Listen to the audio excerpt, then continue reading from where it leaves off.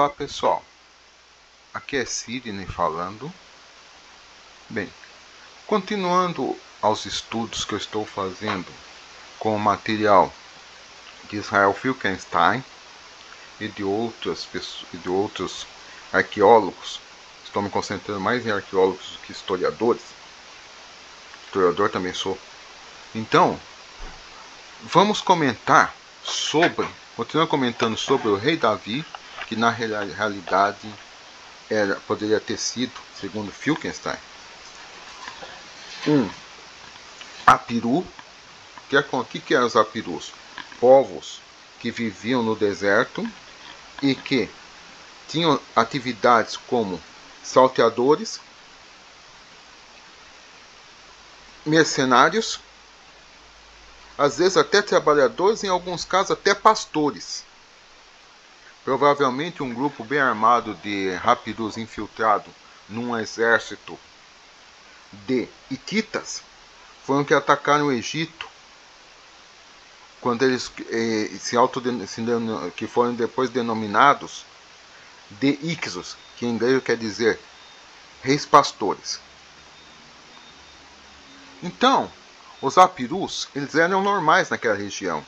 Provavelmente um no século XIV a.C., tomou uma cidade-estado e acabou se, se, tornando um perigo para a, para a civilização egípcia.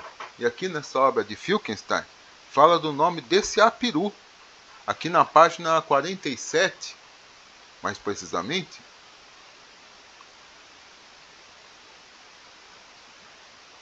você vê outras figuras aqui. Aqui, aqui fala que aqui fala de bandido a, a chefe de a chefe de, de tribo ou chefe de grupo, como queiram. No caso o rei Davi. Então conta aqui a respeito de outros que, que apareceram também.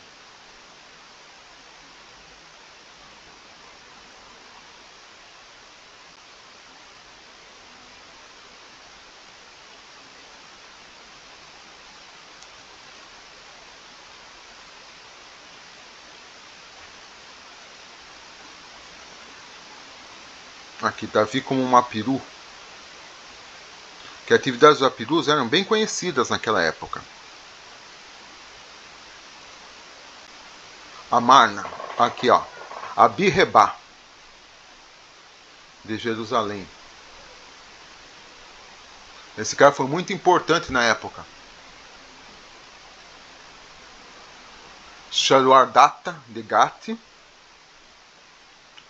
e Abirrebá de Jerusalém. Então Jerusalém tinha uma certa importância que acabava incomodando até mesmo os egípcios. Antes da grande devastação que deve ter ocorrido no século XII Cristo, que diminuiu a população daquelas regiões.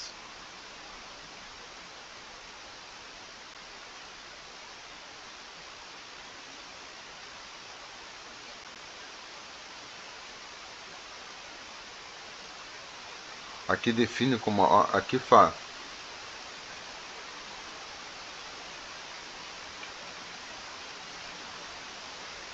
O termo apiru era, apiru era usado para designar também bandidos.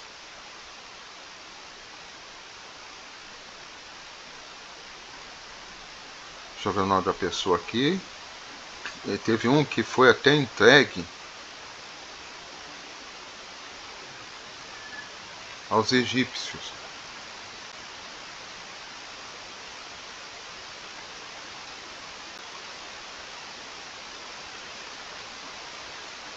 Que as narrativas que falam de Davi até mostram ele como se fosse uma espécie de um herói, um herói tribal.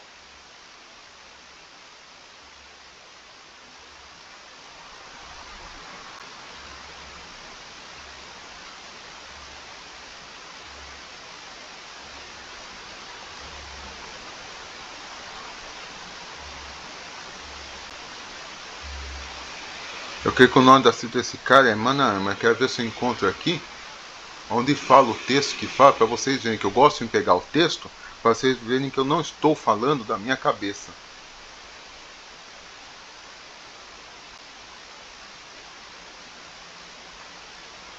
Então, a história de Davi pode ter sido uma história épica. E talvez não fosse profeta nenhum que estava contando, sim a memória das pessoas. E alguém, sob um pseudônimo de se dizendo profeta, escreveu a história desse homem. Que, que, na realidade, o nome dele pode ter sido El Hanan, o cara que matou Golias.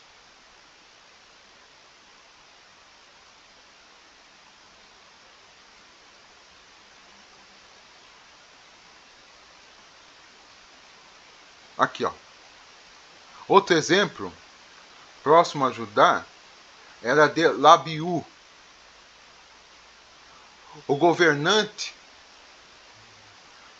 de Shequem. Labiú é, também era um apiru. Shequem era o que era uma das cidades, ou Siquém como queira, que formavam a Israel do Norte, se é que se chamava assim aquela região. Na realidade, nunca se chamou isso. Uma das cidades importantes é a Siquém. E o que acontece? Essas cidades-estados, elas dominavam a região e dominavam os agricultores que viviam. E a, e a entre aspas, Israel do Norte, na realidade, era mais desenvolvido do que Judá. O que, que era Judá? Judá era, era um semiárido onde dificilmente se plantava. Somente nas colinas que eles conseguiam plantar alguma coisa, mas com muita dificuldade. Então esse Labiú, que é um apiru também, há muitos e muitos anos antes de Davi, provavelmente no século XIV, ele foi capturado, morto pelos seus vizinhos e entregue às autoridades egípcias. Provavelmente esse seja o Israel descrito na estela de Mernepetá. Isso daqui ocorreu 400 anos antes dos eventos que, que falava do Davi, cujo provavelmente o nome dele é El Hanan, o nome de Davi. Então, aqui, aqui na, nesse trabalho de Filkenstein, que, que fala de Davi e Salomão, faz também, fala a respeito também de Saul. O que, seria Saul? Seria o Saul poderia ter sido um dos governantes das terras do norte. Talvez nem Saul se chamasse. E coexistiu, provavelmente, junto com Davi. Ou El Hanan. Provavelmente El Hanan e Saul foi o contemporâneo, só que Saul não aparece em nenhum escrito. Não aparece em lugar nenhum, fora a Bíblia. Não tem registro desse cara.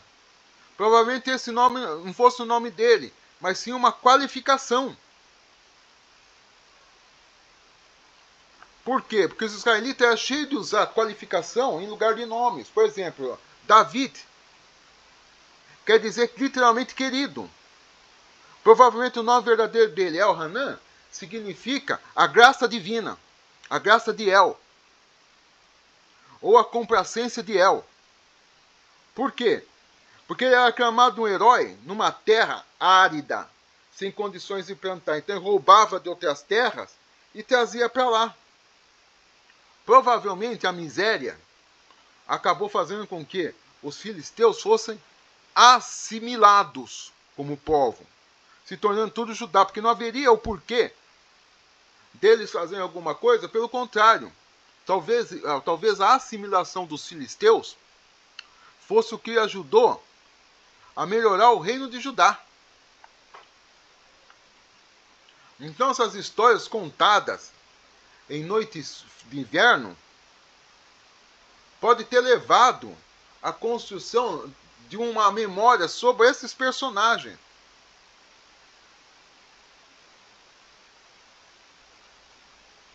Talvez Salomão não fosse nem uma pessoa,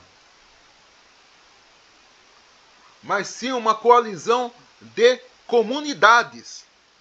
Sim, várias cidades e estados vendo que iam que unidas poderiam produzir melhor, então se uniram. Talvez não seja nem o Davi o próprio, talvez seja um conceito da idade, da idade do, do, do, do aço, idade do ferro. Provavelmente Salomão não fosse nenhuma pessoa de verdade, mas sim uma coalizão. Só que não duraria muito tempo. Por quê? Porque as terras do norte, ou melhor, as colinas ao norte, eram muito mais muito mais férteis do que Judá.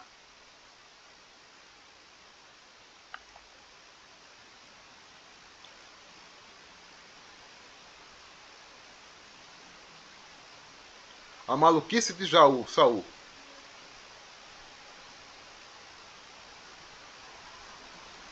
A queda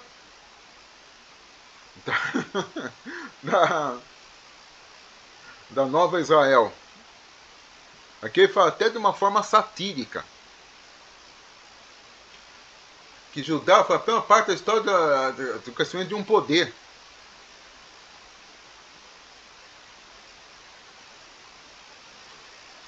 Então, o que acontece? Aqui fala o seguinte, que o próprio, aqui dá um mapa da região, que o próprio Saul foi uma invenção. É, quem, quando e onde? Quem foi Saul? Nenhum livro de história, sério, fala de Saul.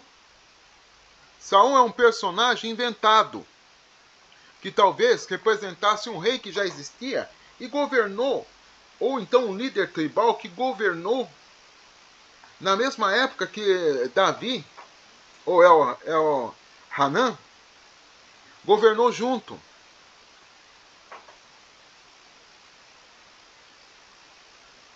E aqui fala a respeito disso.